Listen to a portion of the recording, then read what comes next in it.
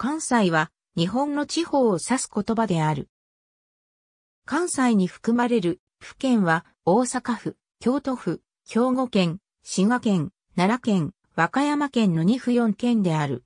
関西広域連合では、鳥取県、徳島県を加えた2府6県を関西と定義し、情報発信を行っている。日本の地方区分では、近畿地方に該当する。関東という概念は、古来の日本から機内の住民の間にあったが、その一方で、関西という概念は存在せず、関西という用語の使用例もほとんどなかった。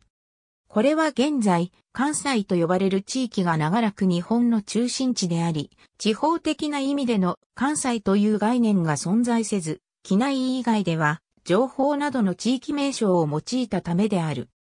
現在のような関西という概念は、明治維新による江戸の東京への解消以後になって、機内や上方に変わる表現として醸成され、さらに、機内近隣の地域区分として従来用いられた近畿がねじれた変態のといった意味がある英語の近畿に発音が似ていることから国際化が進展した平成以降の日常的な使用に拍車がかかったものである。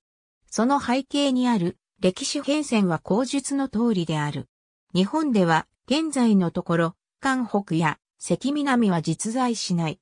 古代律令世紀に機内を防御する目的で設置された東海道鈴鹿関、東山道不和関、北陸道荒地関の三関から東を関東と呼んだ。これに対し、関西という概念は存在しなかった。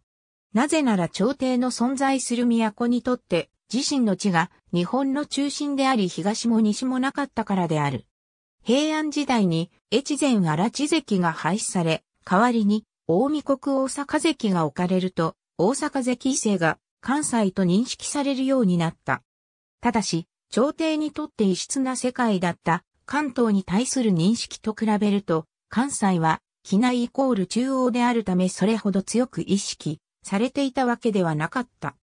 鎌倉時代に入り、関東が鎌倉幕府自体及び幕府が直接統治した三河国、信濃国、越後国伊東の関東に相対する存在としての関西が発生したことを物語っている。そのため、関西の指し示す範囲は決して一定ではなく、朝廷が直接統治権を及ぼす終わり制の西日本全体を指すこともあれば、従前通り、大阪関制の西日本全体を指すこともあった。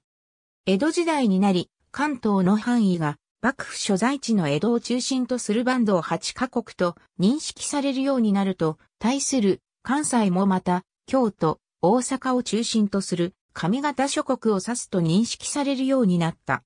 しかし、関西の指す範囲は、やはり大まかなものであり、場合によって、情報諸国、機内近国、鈴鹿関異性の西日本全体、大阪関異性の西日本全体などと使い分けられた。